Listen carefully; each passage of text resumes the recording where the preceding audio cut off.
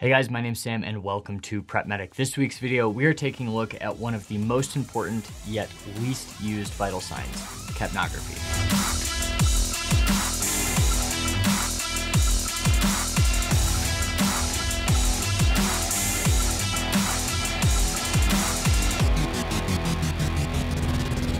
This video is sponsored by Live the Creed. Live the Creed makes a lot of affordable and high quality everyday carry items from wallets, which I actually have their wallet on me right here, to medical kits from the Get Home Alive kit to IFAKs, you name it, they have something for everybody, really high quality medical products. So if you're interested in pick, picking something up, I have a link down below along with my code that can save you a couple bucks. Jumping into it, end-tidal CO2 is the measurement of exhaled carbon dioxide. Now, for those of you that don't know, just a quick physiology lesson, when we breathe in, we take in oxygen, our lungs exchange that in our capillaries for carbon dioxide, and we breathe breathe carbon dioxide out. At the cellular level, the same thing's happening just in reverse. The, the cells are taking in oxygen and they're expelling carbon dioxide where your circulatory system brings it back to the lungs and you exhale it. And that is where we measure end-tidal carbon, carbon dioxide, so end-tidal CO2. Now, there are a couple different ways we measure end-tidal CO2. Right here, I have the EMMA device. So this is a really simple machine.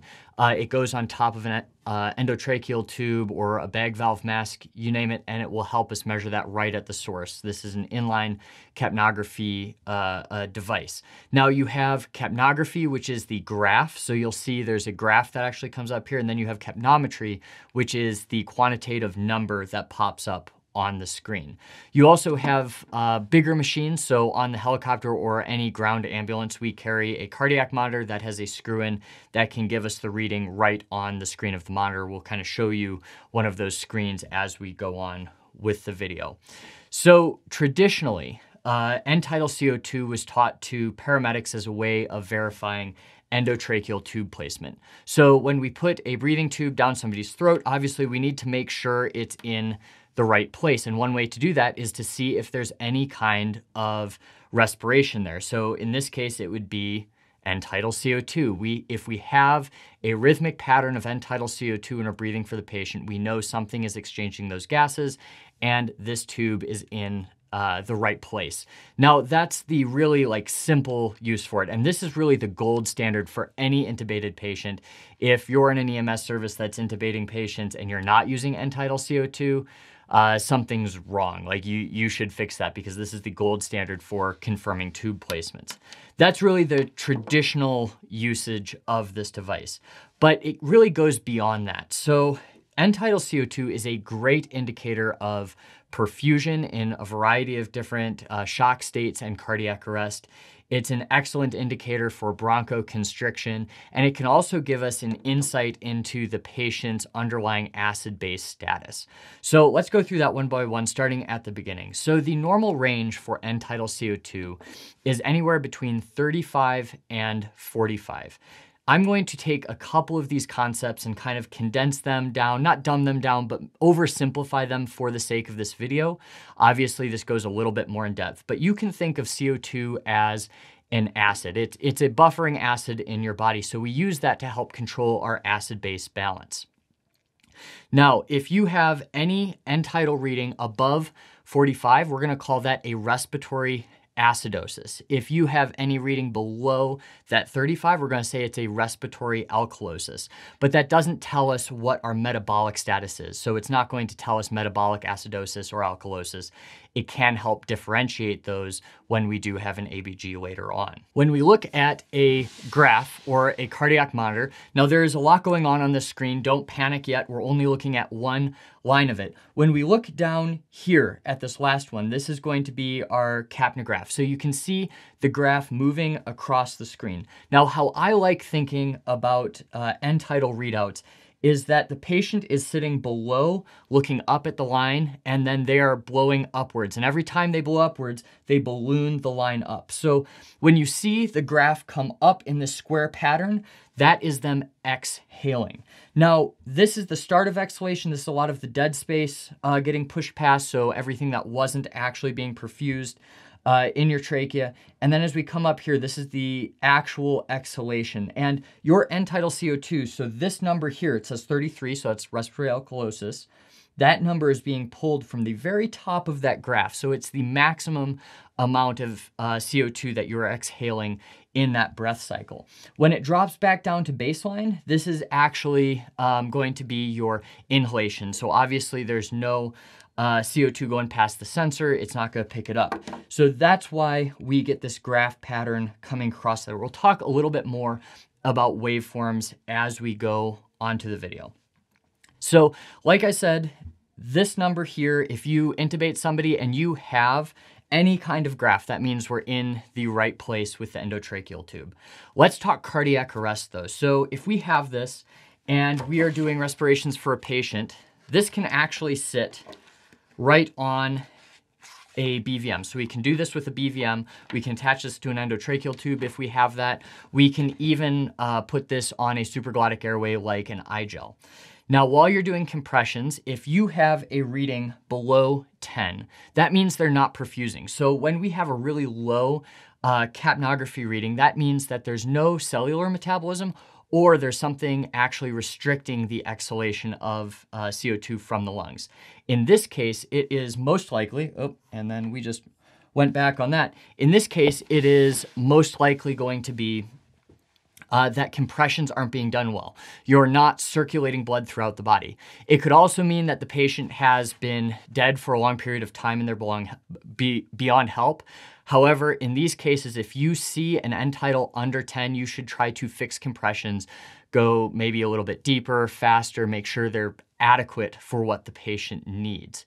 As we're doing CPR, if you see a gigantic spike in that number, so you're at like, you know, 12, 15, which is where it will be a lot of times with good CPR, and you see it spike into the normal range, that is a good indicator that the patient just regained a pulse. So your cardiac output has gone from uh, minimal to a lot more because now it's beating on its on its own and it's trying to wash out all this CO2 that's built up in the body while compressions were ongoing. So you'll see that spike and that's a really good indicator that they have a pulse back. So now let's touch on what end-tidal CO2 can tell us about patients in a shock state. So shock states are very loosely and unofficially defined as hypoperfusion to end organs.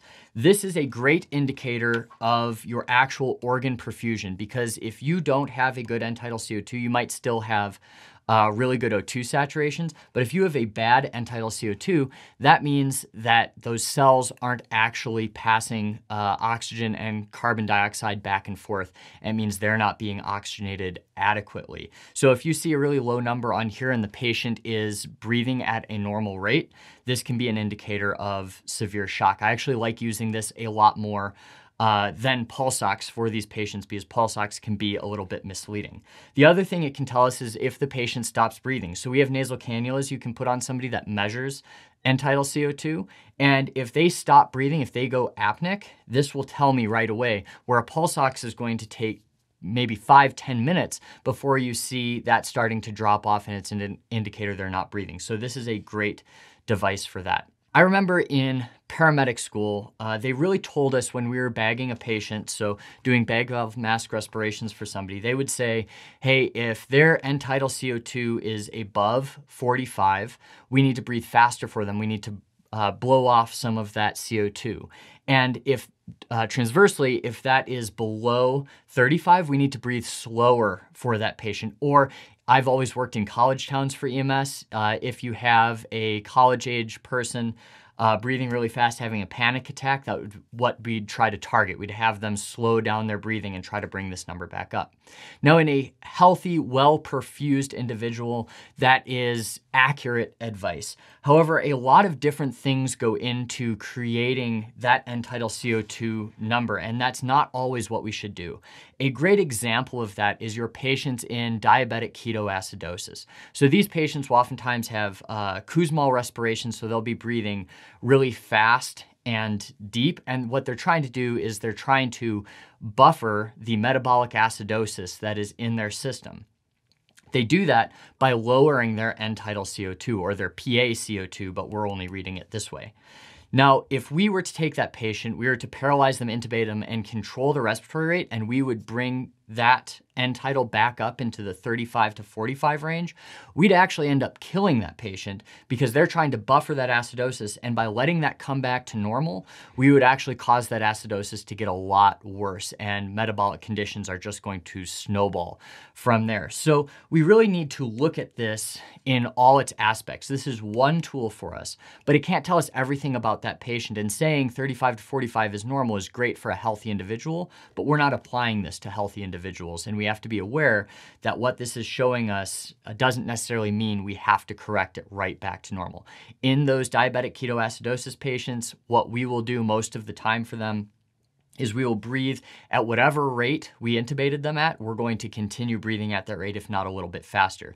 Obviously, we would much rather not intubate them if we can help it. So let's talk really quick about what the waveform means. Uh, and I'll throw up some graphics on the screen as well as having this uh, illustration because the actual graph can tell you just as much as the number, if not more. So one of the most common things we talk about is when you see a shark fin pattern on your end tidal CO2. If you see a shark fin pattern there, that's going to be an indication of air trapping. So usually that's a bronchospastic lung uh, from your asthma attack uh, is kind of the, the schoolyard example that they give. So instead of it being a nice square waveform there, you'll see it slope up just like you see in the movie movie Jaws and drop right off. And that's a sign that that patient needs some albuterol, something to open their lungs up so they're not air trapping quite as much.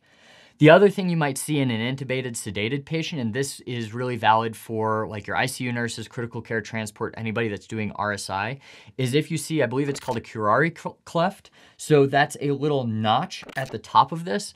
That means that the patient is actually trying to uh, overbreathe that vent or they're asynchronous with the vent and they're trying to breathe at a different rate than when the ventilator is actually giving them the breath. So with that, uh, just know that that patient probably needs a little bit more sedation or a different setting on the ventilator to help with their comfort. As a quick summary, guys, end tidal CO2 is the measurement of your exhaled CO2. The device itself, so uh, capnometry device can be used for patients that are receiving bag valve mask respirations, a patient that's intubated or on a supraglottic airway. It can also be applied in a nasal cannula where you can get really passive readings for somebody that's completely uh, conscious, alert, and breathing. It tells us a variety of different things. Number one, it's the gold standard for confirming uh, endotracheal tube placement, but it will also tell us a lot about their breathing status. So one, it tells us how fast they're breathing. It will show us instantly if the patient stops breathing or goes apneic. It will also tell us a lot of metabolic processes going on. So in CPR, uh, you might not have anything above 10. And if the patient doesn't have an end tidal CO2 above 10, their chance of survival is almost zero. But if you can fix your compressions, do better compressions, get that above 10, they have a much higher chance of being successfully resuscitated in the field. It's a really good indicator for successful resuscitation when you see that jump from that 10, 15 range up into 30s and above that they have actually regained a pulse. Lastly, it's a really good indicator in shock states and it can tell us a little bit about their metabolic uh, status. Now, these machines here are not super accessible to the civilian population. You can get a colorimetric device for tube confirmation, but this device right here costs about $1,400 and then anything that's going to connect to a cardiac monitor uh, just prices most of us out at that $15,000 to $25,000 range. However, this is something that's really good to know for uh, responders and lay people alike, and it's a really good tool to carry. If you're in EMS and your service is not carrying something that can measure end tidal CO2, even EMT basic services, or sorry, EMT services, I would highly recommend you get one. I hope this wasn't too confusing. I blew through that pretty fast, but if you have any questions, please leave them in the comments down below, and I will see you next week.